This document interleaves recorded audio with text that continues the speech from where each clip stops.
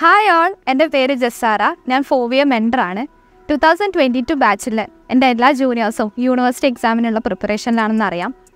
എങ്ങനെ പഠിക്കണ്ടേ? എന്താ പഠിക്കണ്ടേ എന്നുള്ള കാര്യമൊന്നും നിങ്ങൾ ഓരോരുത്തരായിട്ട് പറയേണ്ട ആവശ്യമില്ല. കാരണം ടീച്ചേഴ്സിന്റെ അടുത്ത് നിന്നായാലും ഫ്രണ്ട്സിന്റെ അടുത്ത് നിന്നായാലും നിങ്ങൾക്ക് റിപ്പീറ്റഡ് ആയിട്ടുള്ള അഡ്വൈസസ് കിട്ടുന്നുണ്ടാവും. പക്ഷേ ഈ ഒരു ഫേസിൽ നമ്മളെല്ലാവരും ഫേസ് ചെയ്യുന്ന ഒരു കോമൺ പ്രോബ്ലം ആണ് എക്സാം ടെൻഷൻ അല്ലെ എക്സാം സ്ട്രെസ് എന്ന് പറയുന്നത്. ശരിക്കും നിങ്ങളോട് ടെൻഷൻ അടിക്കണ്ടെന്ന് പറയാൻ എനിക്കൊരു അർഹതയില്ല. കാരണം ഫസ്റ്റ് ഇയർ മുതൽ ഫൈനൽ ഇയർ യൂണിവേഴ്സിറ്റി വരെ എല്ലാ എക്സാമിനും ടെൻഷൻ അടിക്കുന്ന ആളാണ് പക്ഷെ ഇപ്പോൾ ആലോചിക്കുമ്പോൾ ശരിക്കും അത്രയും ടെൻഷൻ അടിക്കേണ്ട ആവശ്യമൊന്നും ഇല്ല എന്നാണ് എനിക്ക് തോന്നുന്നത്. കാരണം ഒരുപാട് ടെൻഷൻ അടിക്കുന്ന സമയത്ത് നമ്മുടെ ബ്രെയിന് പ്രോപ്പറായിട്ട് ഫോക്കസ് ചെയ്യാൻ പറ്റില്ല. നന്നായിട്ട് എഫക്റ്റീവായിട്ട് പഠിക്കാൻ പറ്റില്ല.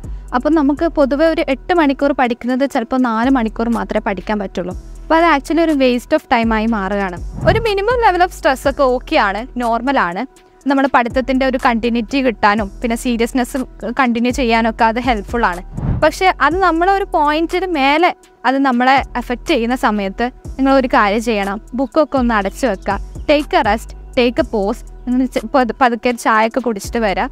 നിങ്ങൾ ആരോടെങ്കിലും സംസാരിക്കണം തോന്നാണ് സംസാരിക്കുക എന്നിട്ട് വീണ്ടും കം ബാക്ക് ടു റീഡിങ് അല്ലാത്തതെന്ന് വെച്ച് കഴിഞ്ഞാൽ നമുക്കൊരു ഫോക്കസ്ഡ് ആയിട്ടുള്ള മൈൻഡ് ഇല്ലാത്ത പക്ഷം നമുക്ക് വായിച്ചു കഴിഞ്ഞാൽ അത് പഠിക്കുന്ന കാര്യങ്ങൾ റീറ്റെയിൻ ചെയ്യാൻ പറ്റില്ല. പുതിയ കാര്യങ്ങൾ അത് ബ്രെയിനിലോട്ട് എടുക്കാൻ പറ്റില്ല. ശരിക്കും ഒരുപാട് സ്ട്രെസ് വരുന്ന സമയത്ത് നിങ്ങളൊന്ന് ആലോചിച്ച് നോക്കുക. ശരിക്കും എന്തിനാണ് ഞാൻ ടെൻഷൻ അടിക്കുന്നത് എന്നുള്ളത്? ഒരുപക്ഷെ നമുക്ക് ചുറ്റൊന്നും കിട്ടിയ അയ്യോ ഞാനൊരു യൂണിവേഴ്സിറ്റി ആണല്ലോ എഴുതാൻ പോകുന്നത്. ആദ്യമായിട്ടാണല്ലോ അപ്പിയർ ചെയ്യാൻ പോകുന്നുള്ള എന്നൊരു കൺസേൺ ആയിരിക്കും നമ്മൾ ഏറ്റവും കൂടുതൽ ബുദ്ധിമുട്ടുണ്ടാക്കുന്നത് പക്ഷെ ഒന്ന് ആലോചിച്ച് നോക്കിയേ എങ്ങനെയാണ് എക്സാം പാറ്റേൺ എന്ന് നമുക്കറിയാം. എന്തൊക്കെയാണ് ചോദിക്കാന്നുള്ള ഓൾമോസ്റ്റ് ഒരു ഐഡിയ ഉണ്ട്. പിന്നെ ടൈം എങ്ങനെയാണ് മാനേജ് ചെയ്യേണ്ടതെന്ന് അറിയാം.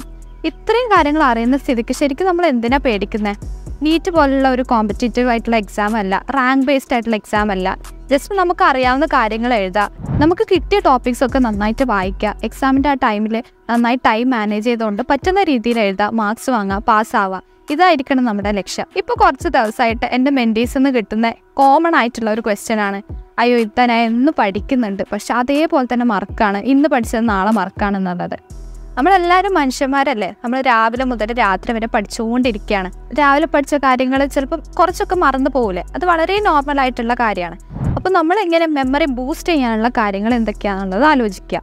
നമ്മൾ ജസ്റ്റ് ചിലപ്പോൾ നമ്മുടെ ഫ്രണ്ട്സിന് പറഞ്ഞു കൊടുക്കുക. അല്ലെങ്കിൽ ചെറിയ ചെറിയ നോട്ട്സ് ഉണ്ടാക്കി വെക്കുക. അല്ലെങ്കിൽ വീണ്ടും വീണ്ടും റിവൈസ് ചെയ്യുക. അപ്പോൾ ഇങ്ങനെയുള്ള കാര്യങ്ങളൊക്കെ ചെയ്തിട്ട് നമ്മുടെ മെമ്മറി ബൂസ്റ്റ് ചെയ്യുക. അത് ആലോചിച്ച് അയ്യോ ഞാൻ മറന്നു പോയല്ലോ എന്ന് ആലോചിച്ചിട്ട് വീണ്ടും സമയം കളയാതെ ഇങ്ങനെയുള്ള എന്തെങ്കിലും നമുക്ക് മെമ്മറി ബൂസ്റ്റിംഗ് ആയിട്ടുള്ള ടെക്നിക്സ് എന്തെങ്കിലും പ്രാക്ടീസ് ചെയ്യാം. അപ്പോൾ എനിക്ക് എന്റെ ജൂനിയേഴ്സിനോട് പറയാനുള്ളത് നിങ്ങളെല്ലാവരും അടിപൊളിയാണ്. നിങ്ങളെല്ലാവരും കിഡിലിനായി പഠിക്കുന്നുണ്ട്. നന്നായിട്ട് ഹാർഡ് വർക്ക് ചെയ്യുന്നുണ്ട്.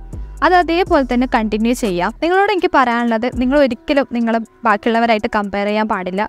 ഓരോരുത്തർക്കും അവരുടേതായ പൊട്ടൻഷ്യൽ ഉണ്ട്. ഓരോരുത്തർ പഠിക്കുന്ന രീതി ഡിഫറെന്റ് ആണ്. ഡ്യൂറേഷൻ ഡിഫറെന്റ് ആണ്. ഓരോരുത്തരുടെ പ്രസന്റേഷൻ എക്സാമിൽ എഴുതുന്ന രീതിയൊക്കെ ഡിഫറെന്റ് ആണ്. മാർക്സും ഡിഫറെന്റ് ആയിരിക്കും.